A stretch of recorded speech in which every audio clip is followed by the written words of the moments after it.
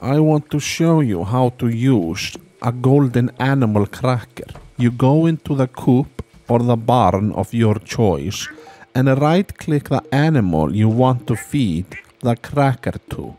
I am feeding my ducks. They make good eggs. And then I go to the barn and I go next to my goats. Stand next to the animal you want to feed the golden animal cracker and then right click it. If you check its name, its uh, description, information, you will see it has the golden animal cracker icon so you know you have fed him